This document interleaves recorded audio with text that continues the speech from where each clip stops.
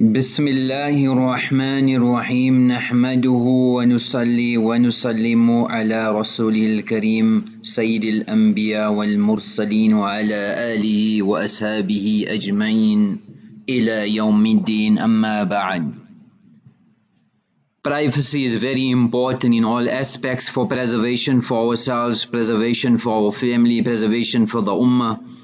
And Deen has emphasized this point numerous ayat and numerous ahadith highlight this point. As the saying goes, without privacy there is no point in being an individual. When your privacy is breached, then you become non-existent. So all aspects of our life, whether it's in our homes, whether it's regards to our family, this is an important part. Part of that is in our businesses as well. So when a person employs somebody, then uh, have privacy contracts, confidentiality contracts, non-disclosure contracts, where your business is yours. Allah subhanahu wa ta'ala open up the door of rizq through this avenue. So your clients, your suppliers are an amana and you need to protect this. This is intellectual property. Likewise, the trade which a person is learning, the employee who is coming is learning the skill. You have paid a lot of money to make him skillful and uh, mastery in, in this field. So many a time an employee will go on the sideline on their free time and do the exact same business. They duplicate the entire scenario or in the same breath they would set up a side structure and waiting for the time when it's right and then as they say jump ship start an entire new structure. So the entire existence in your business is not for you not for your benefit but for their own benefit. So you are uh, spending on the masajid you are spending in the path of Allah you are spending in amal khair as well. And it could take one person that could ruin this entire structure Yes, some people may make uh, this assumption and use this, use this foolish argument that is rizq is written so it's fine. Yes, rizq is written but foolishness is not part of that. So as a believer we say tie our camel then why don't you just sit at home and wait for money to fall from the sky? Why do you go out? Why do you work hard if your rizq is written? Then why do you make effort in that direction? So why do we selectively make effort? Somebody says money grows on trees. Yes, so money does grow on trees.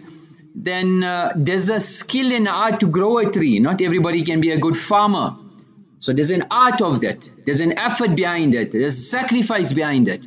So as the people of Iman, we need to make sure La yudlahul mu'min. A believer is not bitten by the same hole twice. So we're supposed to take lesson, we're supposed to be vigilant. And uh, that's why the sign of a munafiq in the riwayat of Abu Huraira radiallahu anhu muttafaqun Ali Bukhari and Muslim ayatul munafiq thalath. There are three signs of a hypocrite. إذا حدث كذب When he speaks, he lies. وإذا وعد أخلف When he makes a promise, he breaks it. وإذا اؤتمن خان and when he's entrusted with something, he betrays this trust. So that employee, is he lying to you? Is he doing side business? The, the another business, another entity, something independent of this and it doesn't affect his work time, then it's a separate issue. Or while he is at work, in your work time, he's doing other business. That's a breach. This time which he is employed for is an amana, it's a trust. So he is speaking lies, he has made a promise not to reveal straight secrets, not to reveal information. Simple things, the business turnover, how busy you are. So generally, this information leaks out also. I mean, this business here, I, so, so it's it's important that, that we, we tie our camel with regards to this. And you have entrusted him with this khana. This is khiyana on the highest level. Hafiz ibn Rajab has mentioned uh, an important point here and he said that um, uh, hypocrisy is in, in, divided into two types. An-nifakul akbar, a, a greater type of hypocrisy. And what is that? أن يظهر الإنسان الإيمان بالله وملائكة وكتب A person definitely believes in Allah subhanahu wa ta'ala uh, and, and, and Qiyamah and, and Judgment Day and whatever he needs to be doing. But he, in that same light, he says it with the tongue, but his belief in the heart is opposite. So that's nifaq akbar. And هذا هو النفاق الذي كان على أهد رسول الله صلى الله عليه وسلم where the munafiqeen outwardly said that they brought iman in Allah and His Rasul but secretly they rejected that and these people they will be in the lowest parts of Jahannam as the ayah explains the second type of, of, of nifaq is nifaqul asghar, a smaller form of hypocrisy. وَهُوَ nifaqul amal. And his actions are an action of a hypocrite. And this is where a person does uh, actions indeed وَأَيَّذَرَ الْإِنسَانِ عَلَانِيَةً صَالِحًا He shows good deeds and he does it for show and that is just for ostentation and pride as well. So that's a second type of nifaq. Other ulama have said there is another type of nifaq, which is this type of nifaq, where a person displays the acts of a munafiq, where his actions are similar to a munafiq, means outwardly, his actions like speaking lies, breaching a trust, these are all actions of a munafiq. Otherwise, if we go deep, then the munafiqeen also their qualities are that la yadhkurun Allah illa qalila. They used to make dhikr but make little but dhikr. Means they did good, but they never uh, did good how it should have been done. They never fulfilled the requirements and the requisites. When they read even salah, they perform their salah, but they read haphazardly, lazily, without any ambition. So we have to be very cautious and uh, we have to make sure that these qualities of, of, of hypocrisy, we do not fit the criteria. And uh, in a business as well, that's amana in a trust. So we have to look after these amanat. How a businessman is worried that nobody steals his merchandise.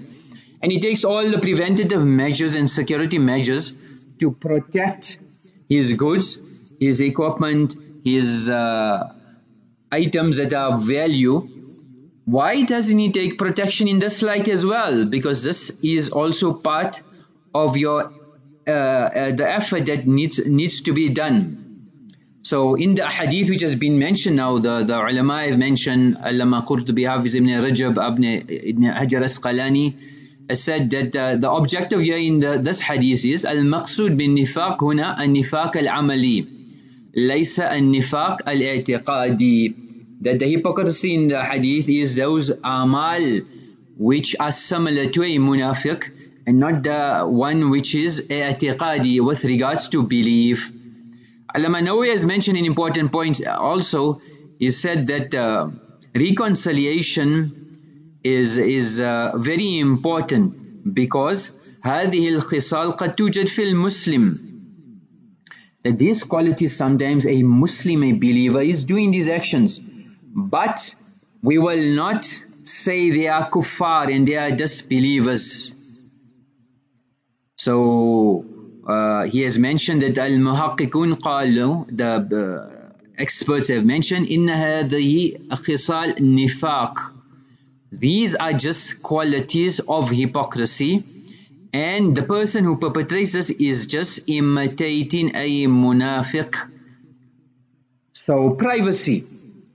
Privacy is very important in all aspects, a very, very important aspect which is contravened nowadays is privacy for our wives, our daughters, our mothers, the masturat of the ummah, even the men folk our satar nowadays now the billah men go and do laser so for the satar for the male uh, is from the navel to the knee. No other man can see that part of the satr. That is allowed. Likewise, um, a, a, a, female can never make a massage of a male, but women do not have, and, and we'll get into those points there, but this, this, this ghayrat, you allow your husband to go for a massage to a female. That ghayrat, it's not permissible, it is not allowed. Likewise, your wife to be massaged by a male, it is haram completely. Likewise, another female, if she is Muslimah, then ask the ulama, ask the muftis, for a Muslim female to another Muslim female, uh, she cannot massage her thighs. That is satr. She cannot even look at her thighs. She cannot do laser at her thighs. And worse than that is the bikini uh, laser waxing. Even worse than that. So that's all part of satr. A husband cannot allow it, it, he, the guna for that will be on her and his head. Both of them will be liable and answerable to Allah subhanahu wa ta'ala on the day of Qiyamah. And the modern day prostitute ring, illa mashallah. And that's why people who go to foreign countries have to be very careful because they've legit legitimized prostitution through massage parlors. So, thus, privacy is part of deen. إذا خطب أحدكم امرأة فإن استطاع أن ينظر إلى ما يدعوه إلى نكاهها فليفعل So privacy is the entire body of a female including the face. So Nabi alayhi salatu wasalam has told and given us permission that when you want to marry somebody then you can look at her means a believer's face Muslimah is covered as well. Is covered as well. So this is proof that the face is part of mahramiyat and it is forbidden for a stranger to see. Likewise, as Mughira bin Shu'ba radiallahu an said, I, I, I once seen Nabi alayhi salatu wasalam and I told him that uh, there is a female which I want to propose. So Nabi alayhi salam said, اِذْهَبْ فَانْذُرْ إِلَيْهَا Go and see her because that will be more beneficial. So he said, I went to the parents and I told them that Nabi alayhi salatu wasalam said that فَكَأَنَّهُمَا كَرِهَا ذَلِكَ As if they did not like that I see their daughter's face but the daughter who heard that in the background said, In kana Rasulullah amaraka an tandur fandur. Then the of uh, Allah gave permission, then there is permission.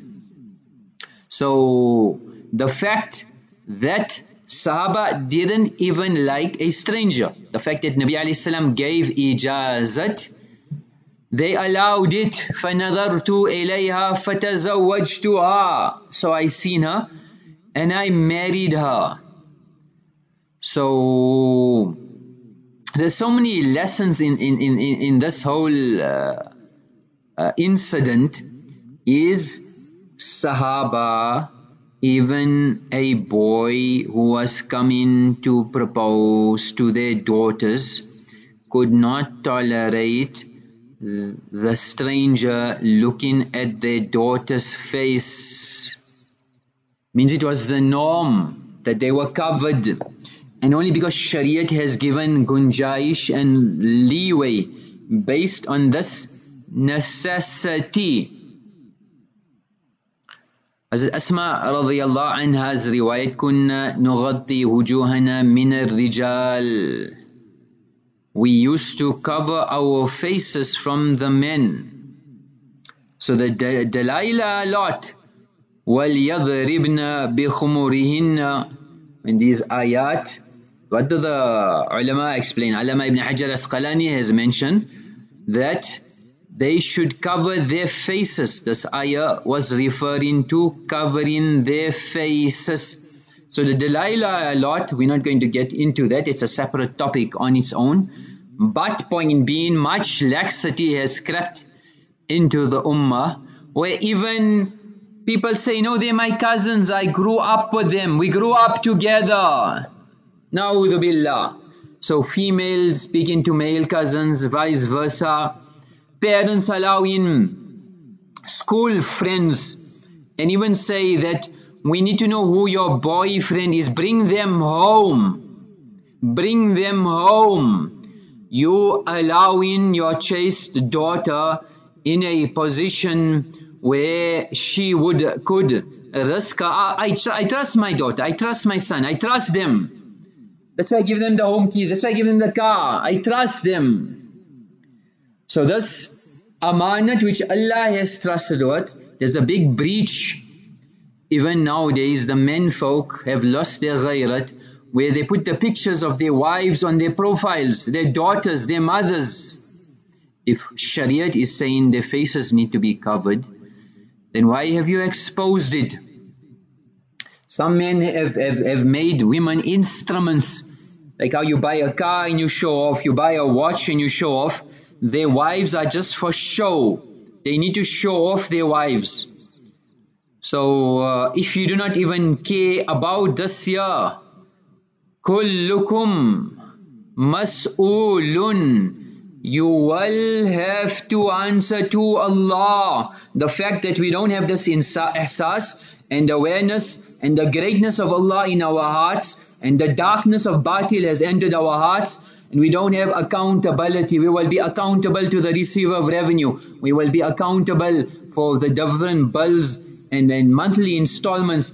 We will be accountable to makhluk. We are worried all about that. But when it comes to Allah, Rabbul Alameen, we are not worried about them. ثلاثة لا ينظر الله إليهم يوم القيامة. What severe warnings.